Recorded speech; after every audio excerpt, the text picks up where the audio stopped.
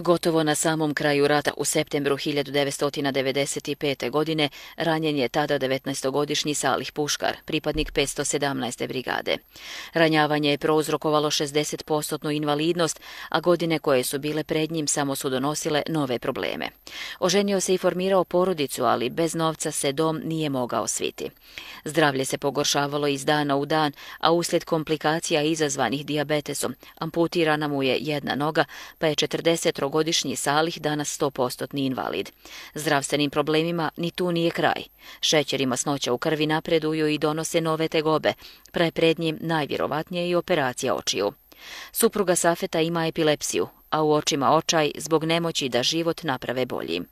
Ova porodica ima petero djece, dva sina i tri kćeri, od kojih se četvero školuje, a najmlađa sedmogodišnja Hana ne ide u školu jer roditelji nemaju novac i za njeno školovanje.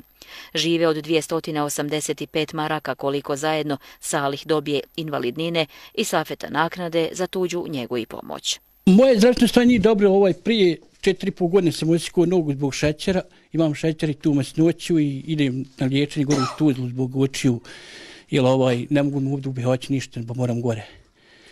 Ona, ići na liječenje, liječim se gore već ima haman godina i po dana.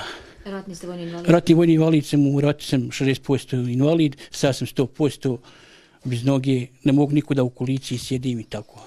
U kritičnom sam stavanju isto, mala ona invalidina u mene, žena ima isto nešto ono kao kućne njegije, što me, to je svega 285 maraka.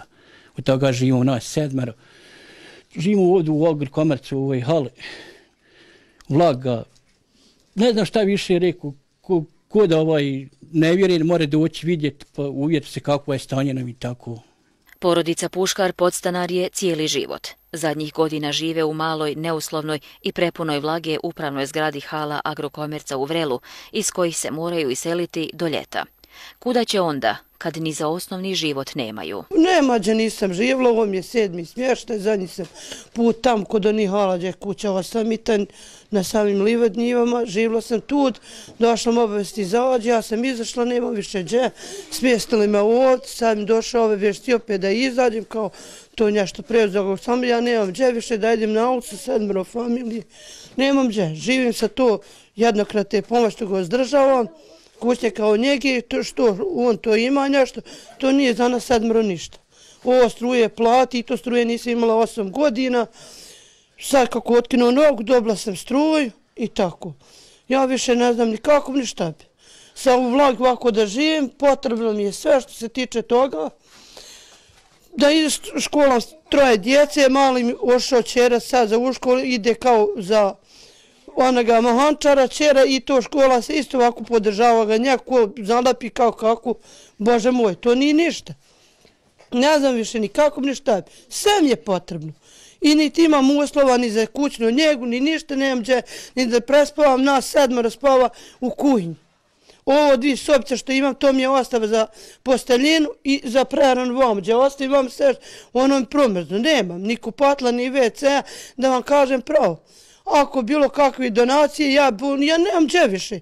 Da mi se složi pa baram kako barakce, barakce po stepenu, valjda mi nešto stekla.